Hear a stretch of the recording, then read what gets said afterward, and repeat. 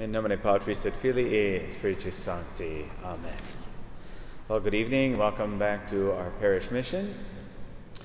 Uh, today, you have an opportunity to obtain a plenary indulgence.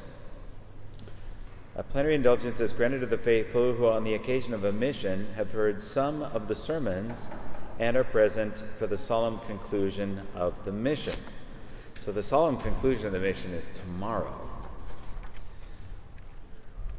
And a partial indulgence is granted to the faithful who assist with attention and devotion at other occasions of the preaching of the Word of God.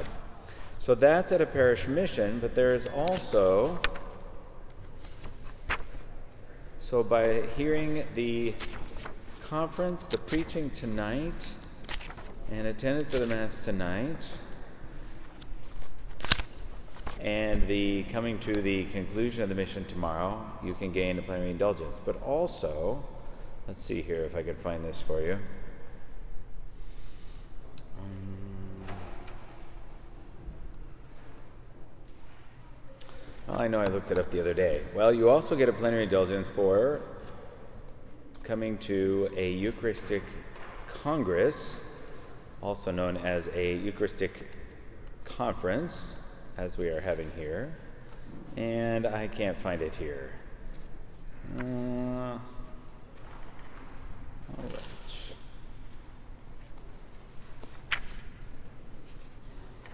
Visit. Hmm. Okay, well, you don't need to wait while I look this up. We'll go with uh, listening to a, uh, a sermon, a preaching, a conference here at the parish mission and uh, attending the solemn conclusion tomorrow, you can gain a plenary indulgence. Now, you can gain a plenary indulgence on any day for uh, spending a half hour praying before the Blessed Sacrament outside of Mass, for spending a half hour reading from the Holy Scriptures devoutly, prayerfully, or praying a rosary in public. Those are all things you can also do it again in plenary indulgence every day. But for the gaining of the plenary indulgence today, let us Oh, here we are. Uh, plenary indulgences, Eucharistic Congress. Oh, here it is, page 49. This is what I originally told you you could make one for today.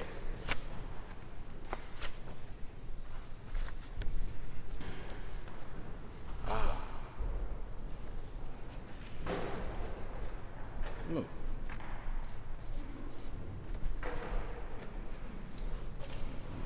session.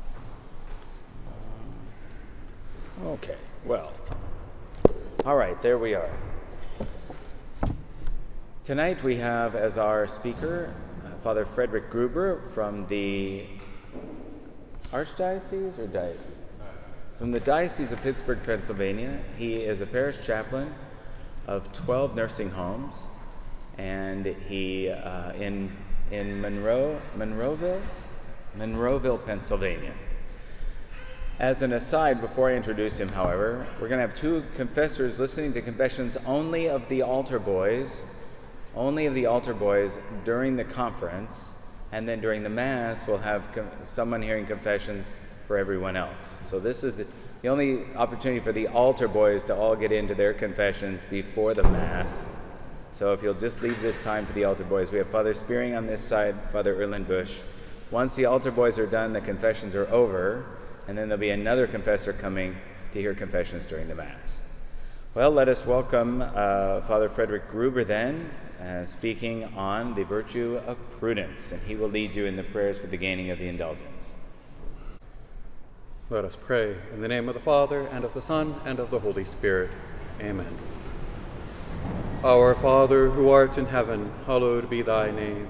Thy kingdom come, thy will be done, on earth as it is in heaven. Give us this day our daily bread, and forgive us our trespasses, as we forgive those who trespass against us.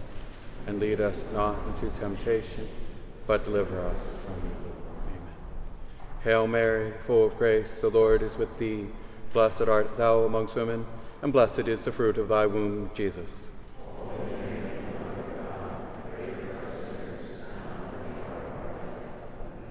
Glory be to the Father, and to the Son, and to the Holy Spirit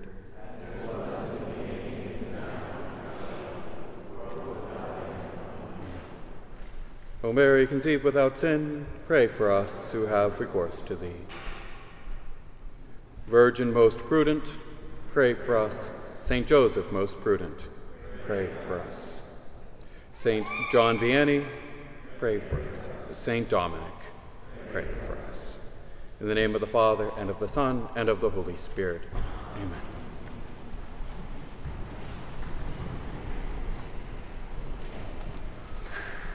Do good and avoid evil.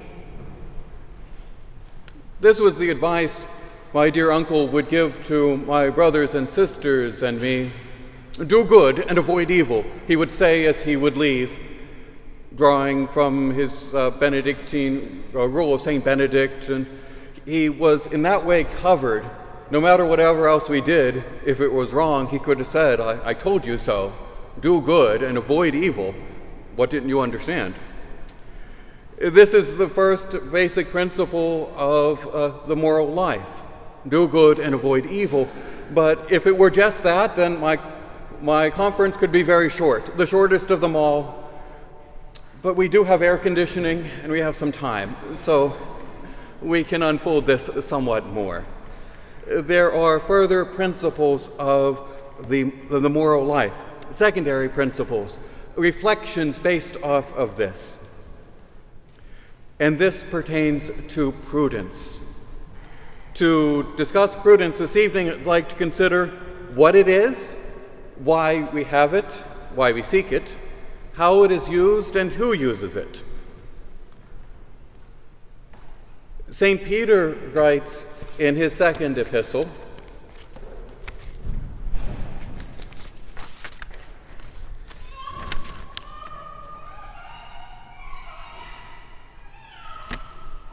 Make every effort to supplement your faith with virtue, and virtue with knowledge, and knowledge with self control, and self control with steadfastness, and steadfastness with godliness, and godliness with brotherly affection, and brotherly affection with love.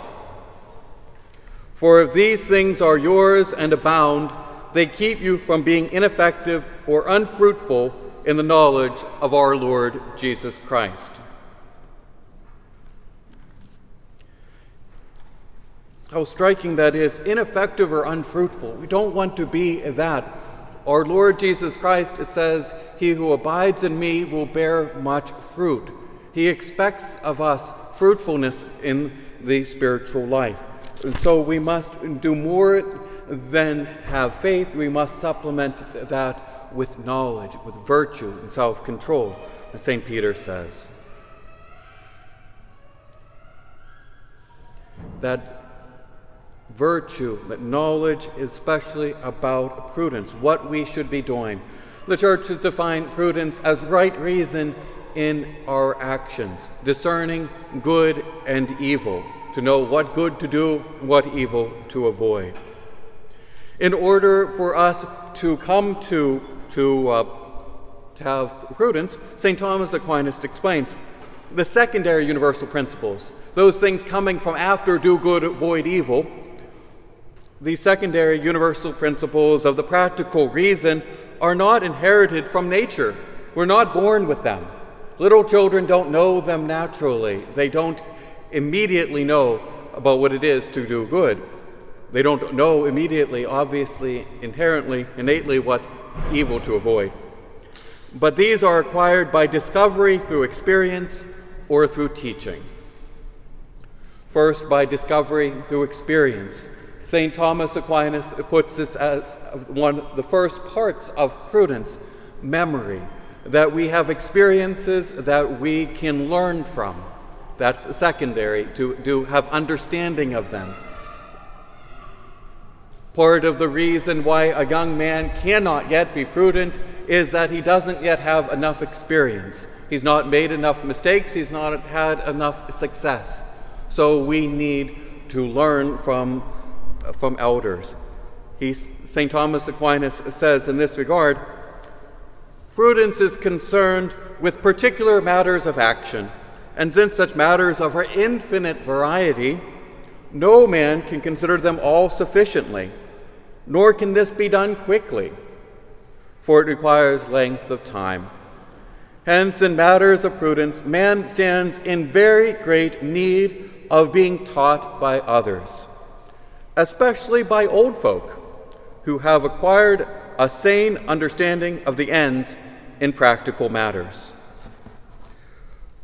Wherefore, the philosopher says, it is right to pay no less attention to the undemonstrated assertions and opinions of such persons as are experienced, older than we are, and prudent than to their demonstrations, for their experience gives them ins an insight into principles. Part of the reason for our gathering as priests for annual conference of the priestly fraternity of St. Joseph is just for this reason to share insights from developed prudence, to learn from our elders, to be docile to the tradition, to learn what have, has been the best practices when it comes to the practice of the liturgy and in various matters of pastoral wisdom. In a way, this is almost guaranteed to occur, even when we're in an era when many of the older generation haven't been in a lifelong pursuit of wisdom through the ups and downs of life, through experience, they tend to gather a bit of wisdom. Reminded of a dear old lady who's over a hundred years old now. I was sitting with her at the nursing home a couple months ago, and I, I shared with her a prayer card of the Divine Mercy. And I pointed it out to her, and in case her old eyes could no longer even read the large print, I pointed out the caption. It says, Mary, here, Jesus, I trust in you. And dear old Mary said, Well, who else are you going to trust? Indeed, she knew that clearly. And it was not only the point of it, but the clarity and forcefulness of it that was so instructive, that was so refreshing. She saw that clearly from her years, decades of experience. We use prudence, we don't use the word prudence very much nowadays. We use it in, uh, in different kind of uh, synonyms, though. We call it common sense, and we lament that common sense is lacking. Well, this takes some effort, some purpose, some docility, some reflection, and understanding. We might call it strategic planning, like a strategy in business or in war. Our Lord seems to speak about prudence in that regard.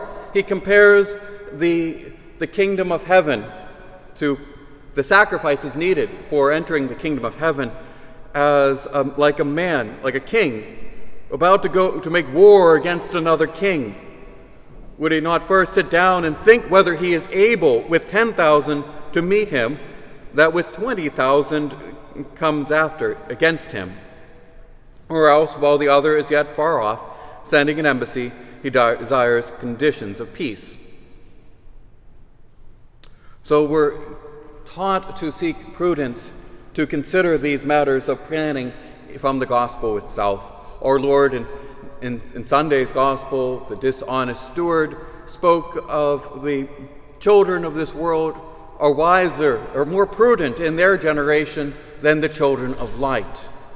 Because we're not looking at the big picture, we're not looking to, to heaven. So we seek to develop prudence. Another term for it is a time management about when we do things. It said that all sin is a matter of imprudence. All sin is a waste of time, a poor use of time. And all of the following of the commandments are following matters of prudence. All of the Decalogue is prudential points about how we must live. All the Ten Commandments are demanded by, by sound prudence. This is not merely some invasion of uh, Greek philosophy into the Christian life. This was something that was integral in the experience of the uh, of even the people of God of the Old Covenant. In the wisdom literature, we have uh, prudence named. We have uh, the the four cardinal virtues as specified in the uh, the book of wisdom, chapter 8.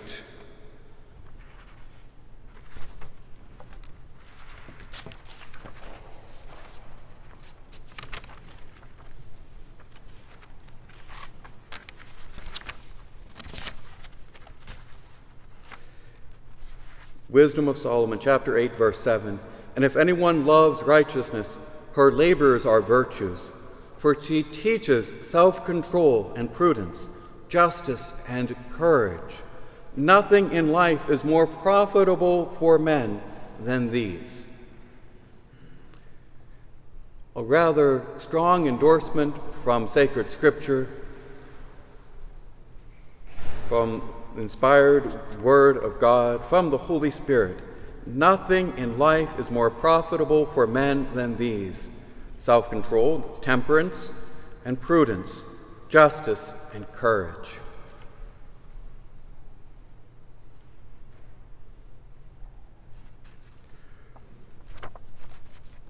So we seek to live out these principles of prudence that we would live a better life. St. Paul says, Do not be conformed to this world, but be transformed by the renewal of your mind, that you may prove what is the will of God, what is good and acceptable and perfect. Prudence, then, is about seeking what is God's will for us in this particular situation, in each circumstance in our lives. St. Ambrose would put it this way that prudence is the font of duty. We speak about being holy by doing the duties of your state in life. And some of these are, are quite obvious, but figuring out when these must be done, how these must be done, how to fit it into our schedule, this is the effort of prudence. Consider an example. We know that parents are first teachers of the faith for their children. In general, some point along the way, and at various points along the way, a father must, in raising his children, impart to them the faith. That's the general principle. Prudence would prompt him to reflection, consideration of his own time, the schedule, the needs of his children, his capacities. So he might delegate a significant portion of that to a good catechetical program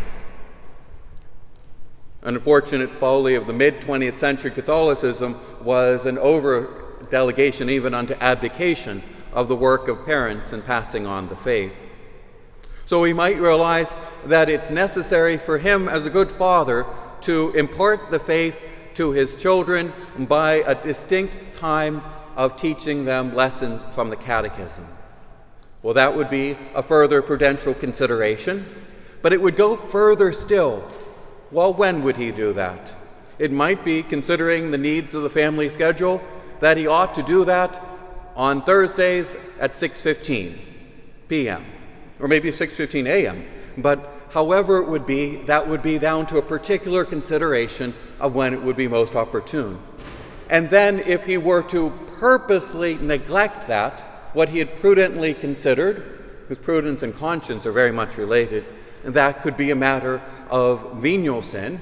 And if he purposely disregarded it many times over the course of months and years, then he could hardly say, Oh, I was going to catch up with giving them a, a crash course when they turned 17 and try to impart the faith to them by that point.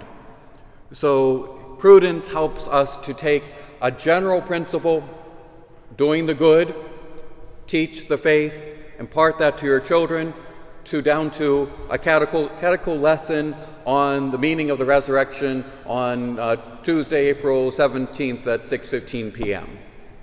Something like that. It can be getting down to that kind of particulars that could be flowing from a wholesome, prayerful consideration of prudence. Lots of times in uh, ancient councils and ecclesiastical documents, they will speak of uh, legislation and then some things left up to the sound judgment, the reasoning, and the prudence of bishops. In years gone by, such was a form of governance in the church that although a pope would give a, a, a law or council would make a decision, even on matters of discipline, a bishop would have the uh, authority to uh, discern in prudence how it would apply in his diocese, and uh, a pastor would have responsibilities of prudence for, uh, for following through in his own parish.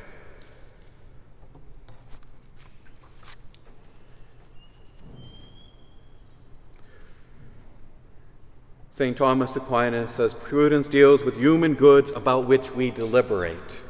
Now, to deliberate well seems to be the special work of the prudent man. In order to do this kind of deliberation, we need to set aside perhaps some time for that. I leave for you in the back of the, of the church some uh, resources in this regard.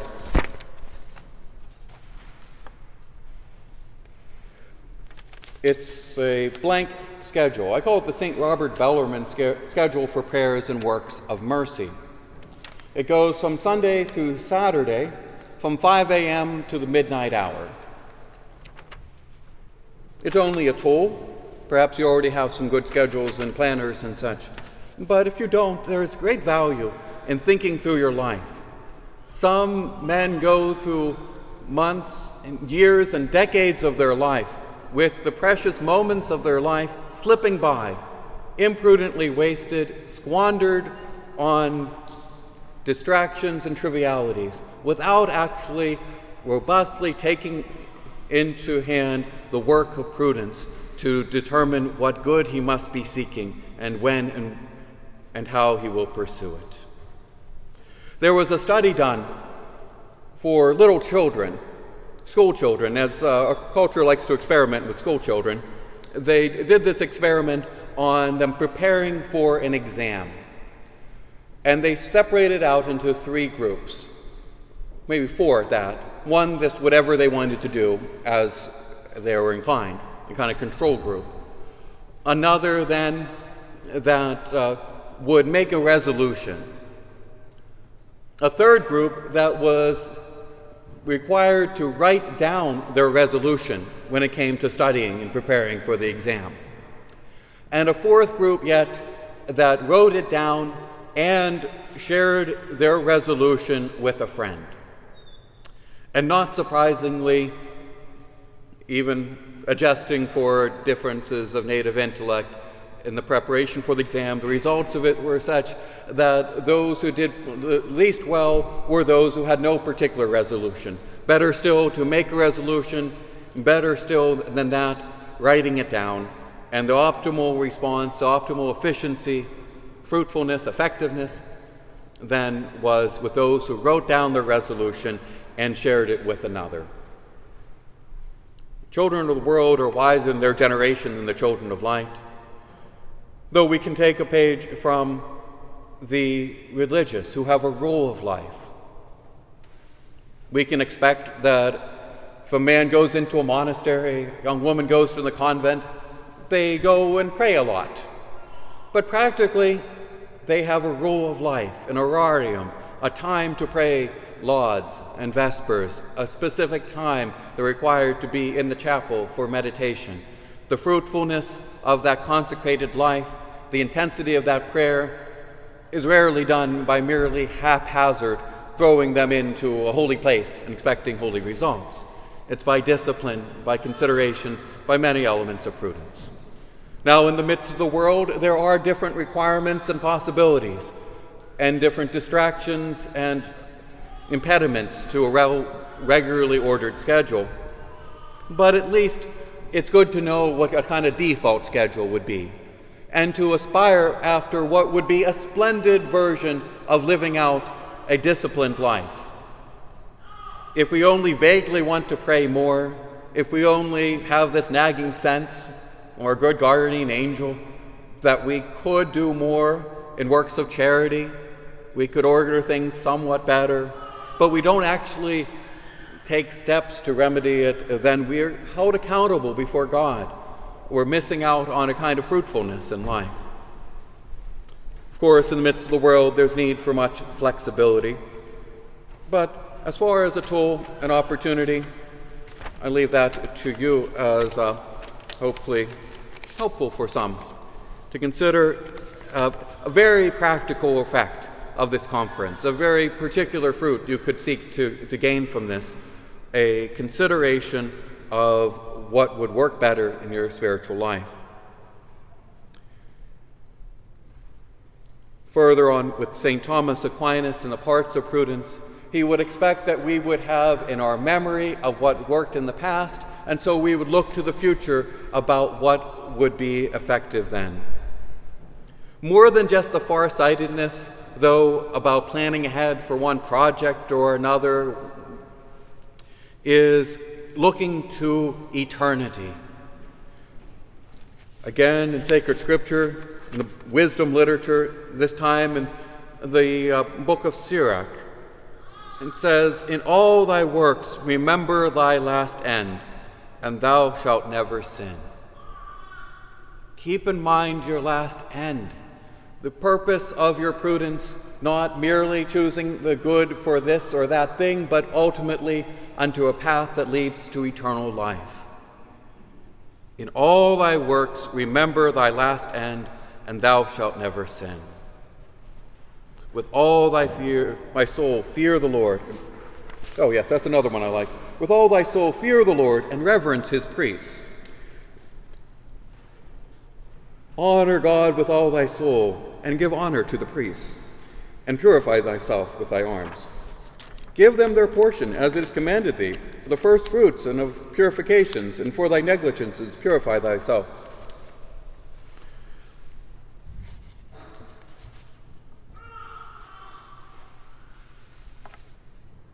So, in order to live out prudence well, we're looking beyond this world to eternal life.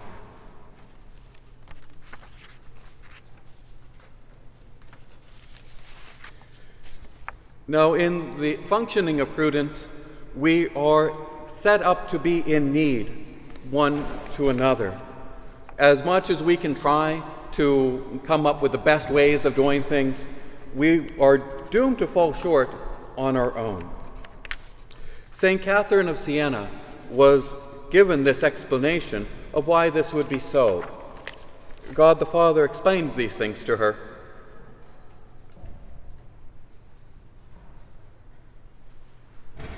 he says, There are the virtues and many others, too many to enumerate, which are brought forth in the love of neighbor. But although I have given them in such a different way, that is to say, not all to one, but to one, one virtue, and to another, another, it so happens that it is impossible to have one without having them all, because all the virtues are bound together. It's a little bit long here, but bear with me. It's a fascinating explanation of how God sets up the world and human community in each individual so as to be in need of one another. He says, Wherefore learn that in many cases I give one virtue to be, as it were, the chief of the others. That is to say, to one I will give principally love, to another justice, to another humility, to one a lively faith to another prudence, or temperance, or patience, to another fortitude. These and many other virtues I place indifferently in the souls of many creatures. It happens, therefore, that the, the particular one so placed in the soul becomes the principal object of its virtue, the soul disposing herself for her chief conversation to this rather than to other virtues. And by the effect of this virtue, the soul draws to herself all the other virtues which, as has been said, are all bound together in the affection of love. And so, with many gifts and graces and virtue, and not only in the case of spiritual things, but also of temporal. I use the word temporal of the things necessary to the physical life of man. All these I have given indifferently, and I have not placed them all in one soul, in order that man should therefore have material for love of his fellow. I could have easily created men possessed of all that they should need, both for body and soul, but I wish that one should have need of the other, and that they should be my ministers to administer the graces and the gifts that they have received from me. So God creates us to be interdependent in virtue. To one, he, he might give especially a courage, a robust fortitude, but he might need to rely upon his friend who has prudence. And the prudent man might need to learn from the one who has courage. And so God makes us so that we do need one another to learn from one another. Sometimes prudence is used in a way that is a, a kind of um, excuse, an exculpation for cowardice. So we hold back from the truth. Some would suppose it would be imprudent in our times and sensitivities to speak boldly of the scourge of Islam or to denounce vaccines made from aborted babies or to call out the confusions and errors and manipulations of, uh, of the media in so many ways in our time. But that wouldn't be true prudence. When prudence does dictate a action should be taken, it may require, in fact, great courage to enact that decision. Prudence in the original Latin comes from providence, seeing forward. We think of the divine providence. And indeed, God has the ultimate prudence, the ultimate providence, divine providence. Father Caussade says the supernatural virtue, the supernatural prudence of the divine spirit, the principle of these attractions, infallibly attains its end and the precise circumstances of each event are so applied to the soul without its perception that everything opposed to them cannot fail to be destroyed.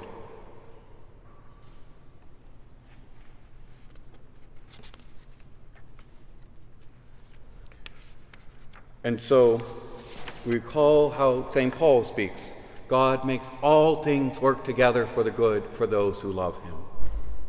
That doesn't mean we should go about with folly, with ignorance, with uh, imprudence, figuring that God will make it better. But in fact, we are called in exercising our minds, using our reason to use prudence for the uh, for cooperating with God's will, with discerning it and putting it into practice.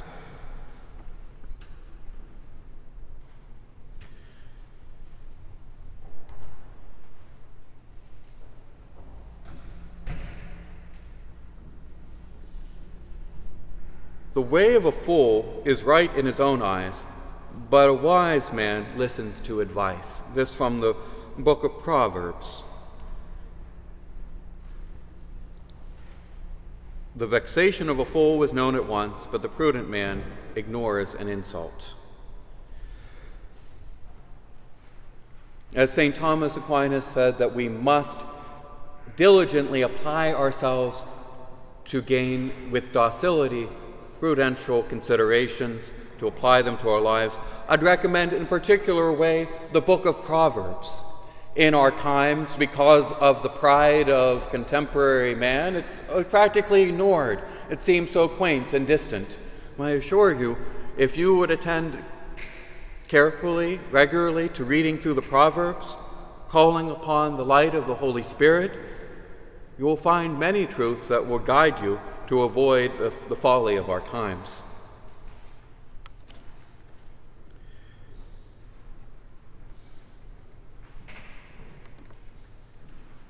Prudence is the capacity of the intellect to apprehend the good things of eternity and the means of attaining them. Wanted to consider then who has exercised prudence in particular? First of all, let us consider our Blessed Mother as the Virgin most prudent.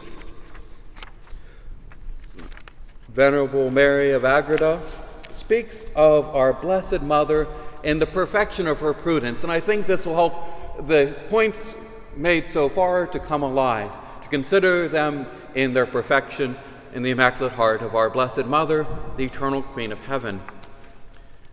Blessed Mary, Venerable Mary of Agreda, describes in her City of God that Mary divided her time and applied it with rare prudence so as to give to each of her actions and occupations its proper share. She read much in the sacred writings of the ancients, and by means of her infused science, she was so well versed in them and in all their profound mysteries that none of them was unfamiliar to her. For the Most High made known to her all their mysteries and sacraments. She treated and conversed about them in her conferences with the holy angels of her guard, familiarizing herself with them and asking about them with incomparable intelligence and great acuteness. If this sovereign mistress had written what she understood, we would have many other additions to the sacred scriptures, and we would be able to draw out of them a perfect understanding of those writings and of the deep meanings and mysteries of all those preserved in the church. Again, in another place, Venerable Mary says of our Blessed Mother Mary, the humility of her behavior enhanced the prudence and aptness of her words for the performance of these last duties in the temple, for on all occasions she spoke in few and weighty words. Our Blessed Mother is most prudent, and yet looks upon us not only in this her life, but throughout the life of the church. In another, in the time through feast day, we celebrate Saint Dominic. Our Blessed Mother appeared and taught him the rosary to enhance his preaching and gave that sound counsel which informed his prudence about how to fight against heresies. Now, we only know about this, we mostly know about this from Blessed Alan de la Roche. Blessed Alan was a 15th century Dominican. This Blessed Roche had a great reverence for sacred traditions, for traditions of piety, for devotion, and faithfully passed these on. So let's pray for the intercession of Blessed Roche for anyone with that name. Uh, he even describes that uh, our Blessed Mother, how our Blessed Mother appeared to Saint Dominic giving the rosary. And Saint Dominic himself appeared to Blessed Alan and described the uh, how he so effectively preached the rosary in his time.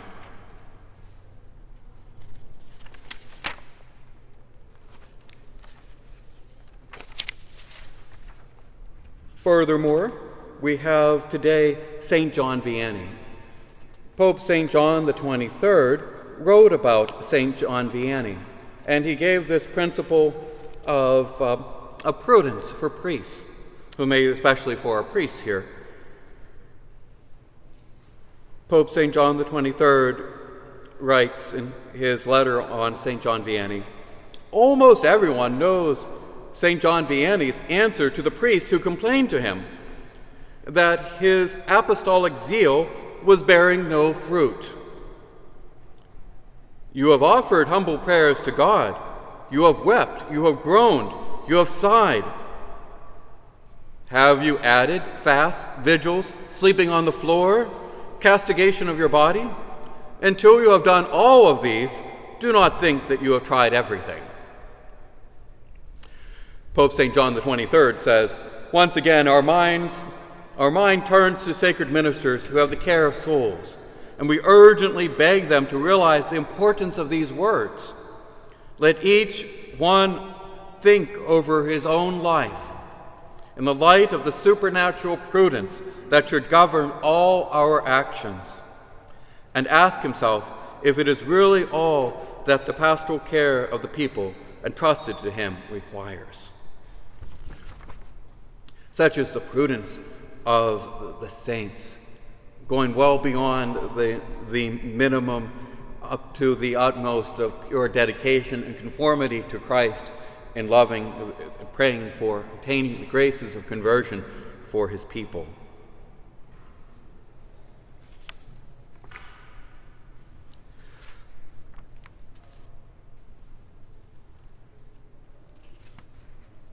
Finally, let's think on prudence in its relationship to joy. The virtues are what activate a man, to make him fully alive. That should be a pleasant thing, a happy thing.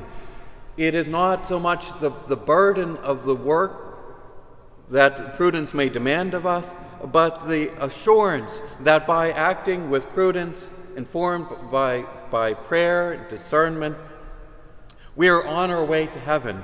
And as St. Teresa of Avila says, all of the way to heaven is heaven.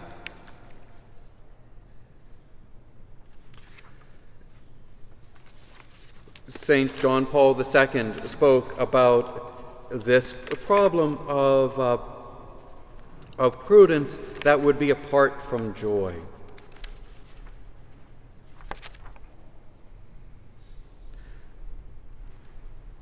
Let theologians always remember the words of that great master of thought and spirituality, St. Bonaventure, who, in introducing his Itinerarium Mentis in Deum, invites the reader to recognize the inadequacy of reading without repentance, knowledge without devotion, research without the impulse of wonder, prudence without the ability to surrender to joy, action divorced from religion, learning sundered from love, intelligence without humility study unsustained by divine grace, thought without the wisdom inspired by God.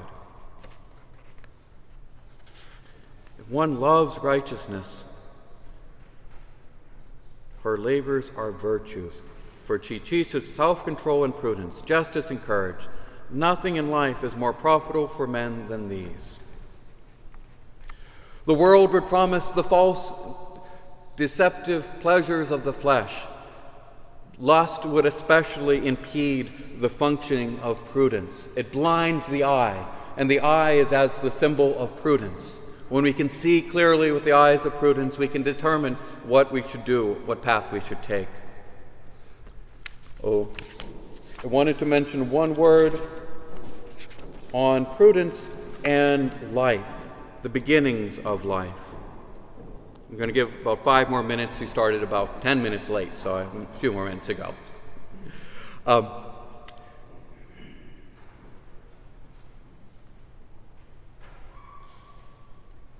regarding the openness to life.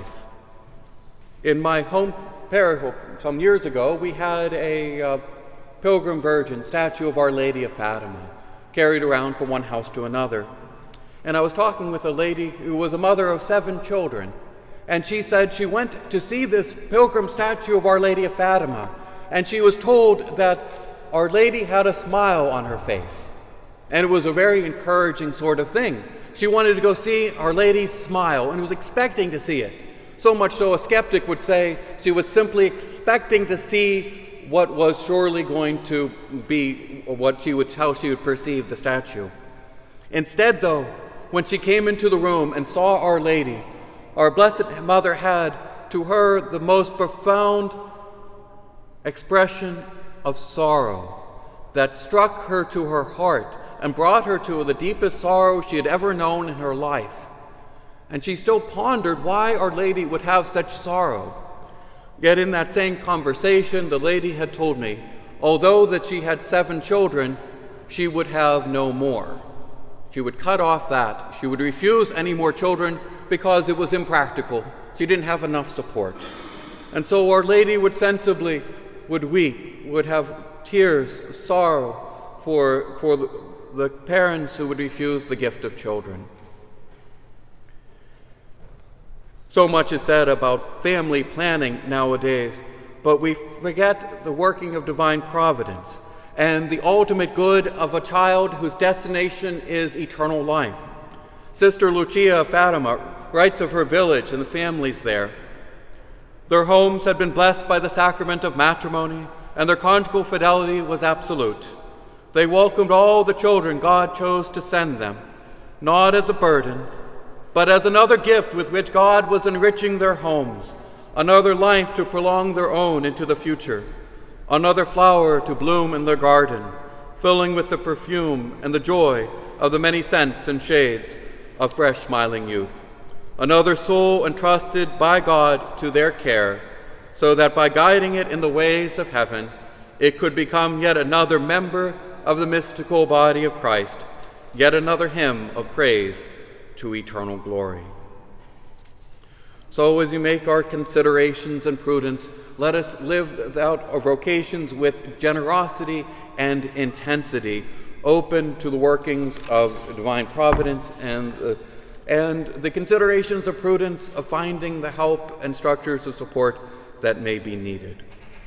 As a chaplain for nursing homes, let me say but a word on the importance of prudence in the face of death.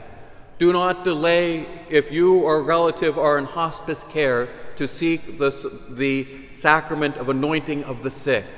Do not delay when a loved one is dying to call a priest some people love when it's so dramatic, when the priest comes at that last second just to impart the, the apostolic pardon and say, Go forth, Christian soul.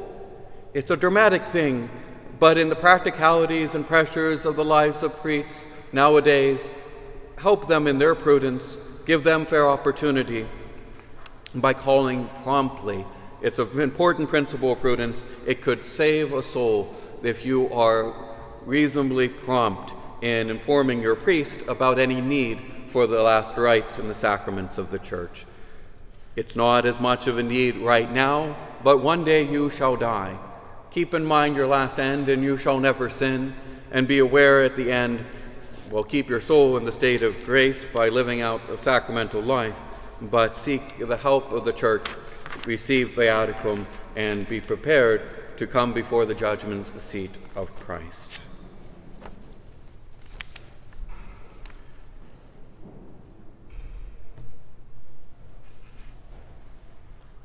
So let us pray to our Blessed Mother for the virtue of prudence.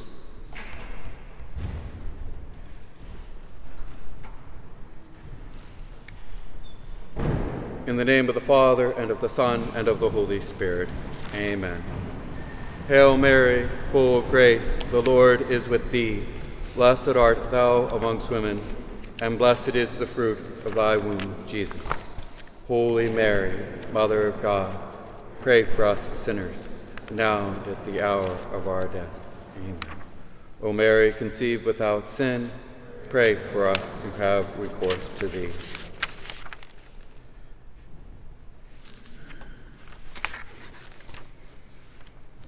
Glory be to the Father, and to the Son, and to the Holy Spirit as it was in the beginning, is now, and ever shall be, world without end. Amen. Virgin most prudent, pray for us. Saint Joseph most prudent, pray for us. In the name of the Father, and of the Son, and of the Holy Spirit.